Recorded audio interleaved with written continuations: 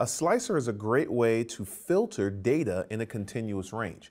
Now, we know, of course, we can use a traditional filter where we have the drop down arrows at the top of each column and all that kind of thing.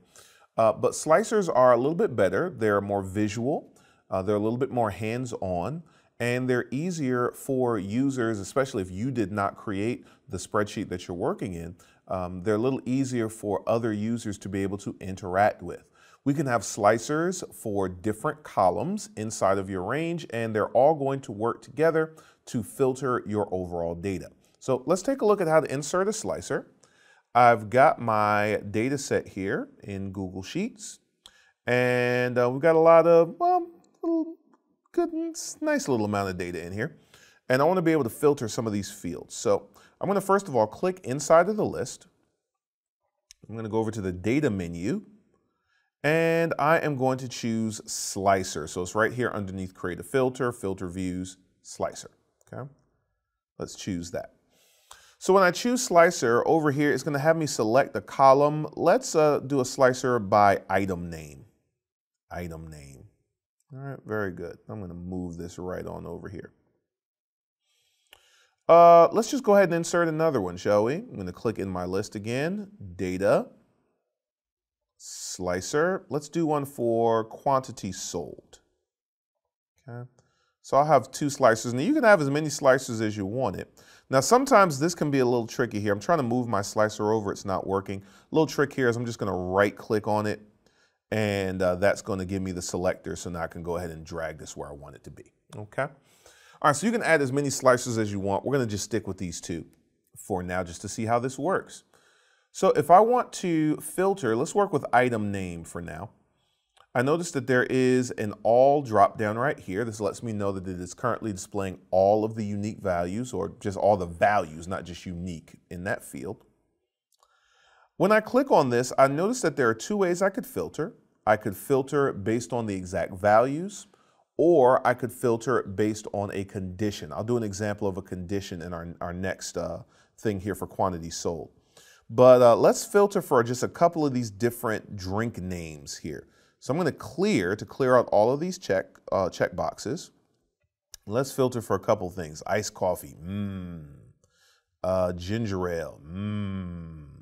And let's do some raspberry tea. Ooh, and uh, we'll throw some water in there as well. Um, and uh, let's click OK. And just like that, we see it filters for the things that we have chosen. All right, so that is fantastic. Now, I'm going to add to this. Let's do a filter for quantity sold. I only want to see things that have five items or less sold, let's say. So I'm going to go to all here for quantity sold. And for this one, I'm going to do filter by condition. And I can choose my condition. So it gives us all of our common conditions, text-based conditions, date conditions, numerical conditions. So I'm going to say less than or equal to 5.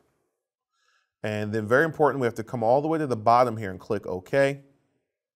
And boom, it, it puts both of those in place. All right.